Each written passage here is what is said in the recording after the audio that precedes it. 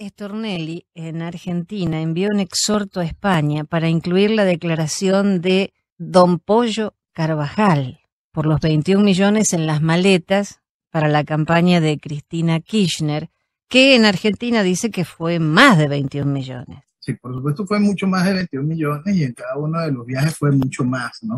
Y eso es en lo referente directamente a los viajes y a ese tipo de mensajeros, ¿no? Este, hay un personaje argentino, Claudio Berti. Sí, arrepentido eh, ahora.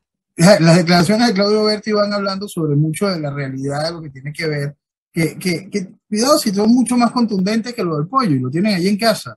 Entonces la realidad de lo que dice Claudio Berti también es tan solo un porcentaje de la cantidad de negociado sucio que hubo con respecto al manejo del kirchnerismo y el chavismo. Entonces lo que estamos viendo mm, es simplemente cómo se abre la cloaca, ¿no? Pero es una cloaca que era harto conocida por cada uno de nuestros países, es más conocida a nivel, a nivel global.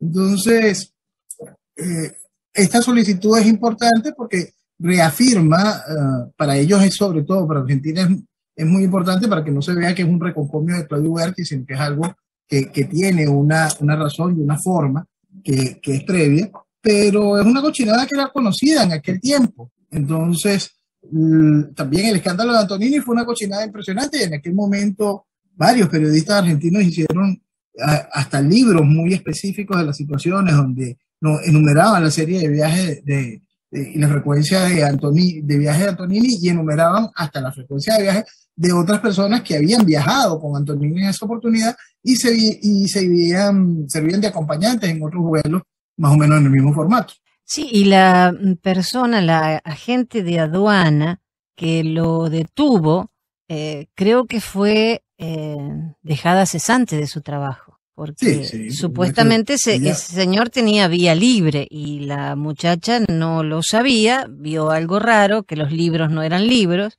y, y empezó todo esto. Ahora, con todo esto... El problema cuando la gente hace su trabajo. Claro, eso, entonces se quedó sin trabajo. Pero ahora que ya la señora Kirchner no está tan fuerte como ella piensa, pensaba que podía estar, esto, aunque se sabía que había dineros foráneos, esto es un golpe muy duro porque las elecciones son ya el mes que viene.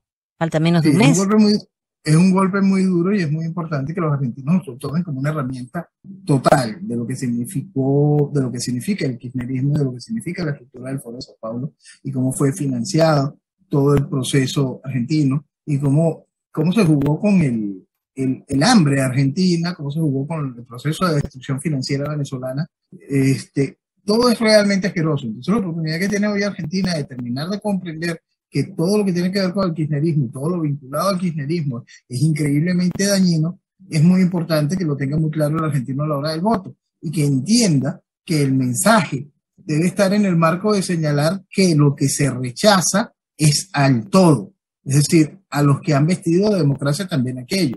Entonces quizás se pueda avanzar antes de tener que tomar medidas que, que, que conocemos.